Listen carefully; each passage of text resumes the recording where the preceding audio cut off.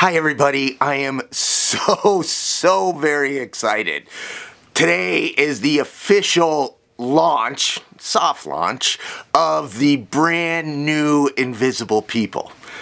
Before I show you the new Invisible People, let me explain a little how we got there. A little over 10 years ago, I was experiencing extended unemployment it was a really dark time. Literally, I was eating dollar pizzas from Ralph's grocery store, which are pretty much cardboard and tomato sauce on top. I did not know if I was going to make it because I was crashing back into homelessness for a second time. One day I grabbed the camera and I went out and I started empowering homeless people to share their own stories. I was a TV producer by trade, I now call a broadcast dinosaur. And back then I had an Avid workstation, which was the software most commonly used to edit television shows. But when my house went into foreclosure, I lost the computer. So I had this dinky camera and I had this laptop that couldn't edit video. And one day I just said, you know what? Nobody's going to watch this stuff. I need to give myself purpose. I would love to tell you that Invisible People started because I wanted to change the world, but the truth is, I needed a reason to get up in the morning. I took $45, leased some server space, hacked out a WordPress theme, and when I mean hacked, I changed the photo at the top. This is the first Invisible People, right there. That's what I started with $45 and a dinky laptop that couldn't cut video and a camera that was, you know, I mean, Best Buy wouldn't even sell probably this camera. Last year, Invisible People had 26 million views on YouTube, and we generated over a billion impressions on social media. No small nonprofit, and I'll argue even large nonprofit with million dollar budgets, even comes close to the reach we have, and we have hardly no budget at all. Around two years ago, I started the process working to change invisible people. At the time, we didn't have any money. Now, money helps a lot, but I really believe that lack of money should not stop you from moving forward, especially when it's a cause like helping to end homelessness. Then, about a year in, a couple of major donors, Kurt, Dorit and Al, and Hanesbrands, all helped support this new vision. I looked at where we were at and I said, you know what? I'm going to start from scratch. So a year ago, I just scrapped everything and we started working on the new invisible people that you see today. Part of the brand refresh was a whole new brand identity, and we started right with the logo. The logo has meaning reach people, open discussion, create visibility, homeless people become visible. This is the new Invisible People website and it completely changes what we do for the better. First off, when you go to learn more, there's a bunch of articles written by the Center for Social Innovation on homelessness. Up until now, people outside of the homeless services sector, often young adults, looking for information on a homework assignment did not have a place online to quickly and easily learn about homelessness. They had to sift through academic content, download a 46 page PDF, or go through all this material that is spun for fundraising. Now there is a place online for people to learn about homelessness. And of course, the stories that we're known for, the real first person, raw, unedited stories of homelessness, they're still here. That is the foundation of our work. That's never going to change. But what we've added is now a news section. We have hired journalists in several different countries to write about homelessness.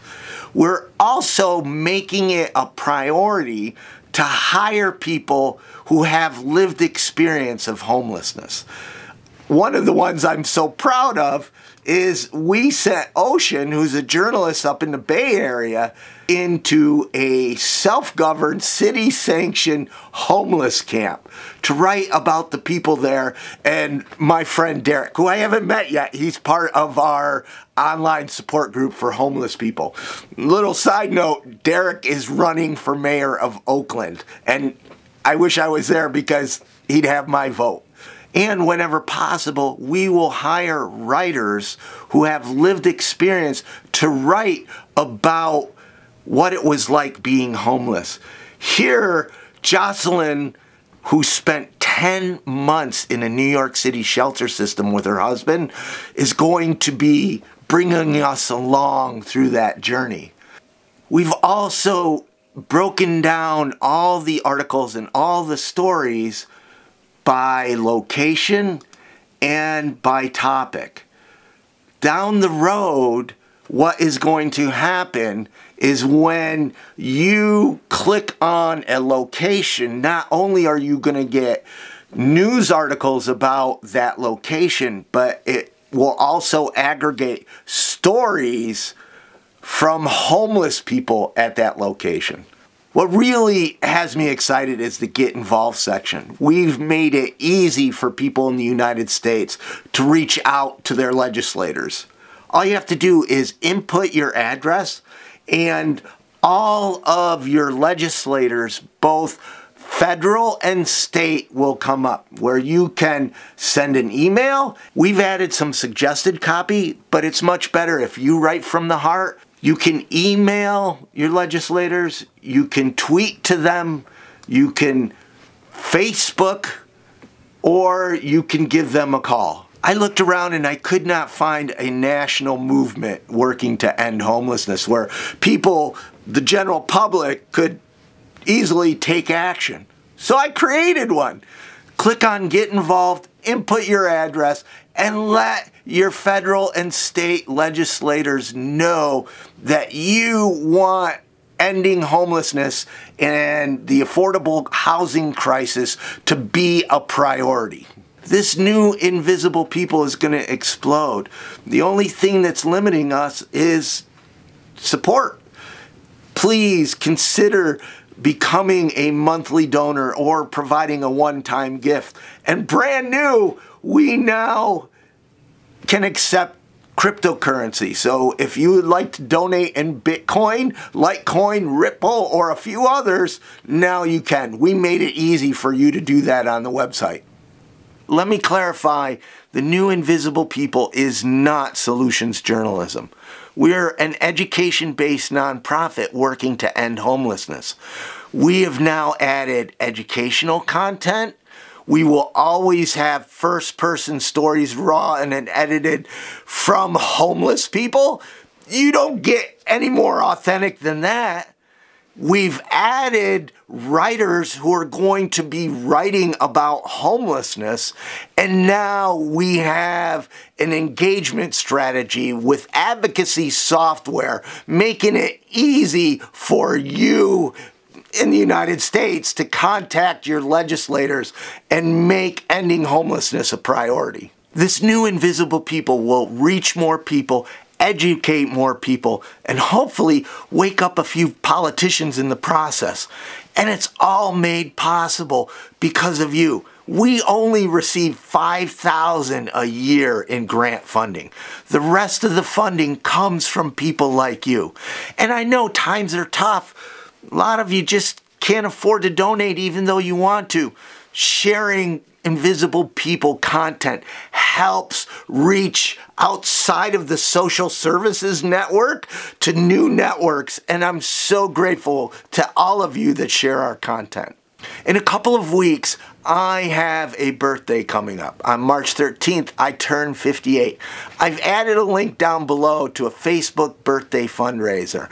I'm trying to raise $5,000 to help support Invisible People's important work. Please consider giving $29, which is half my age, to help support Invisible People. I've been doing this for 10 years now, and it feels like we're just starting.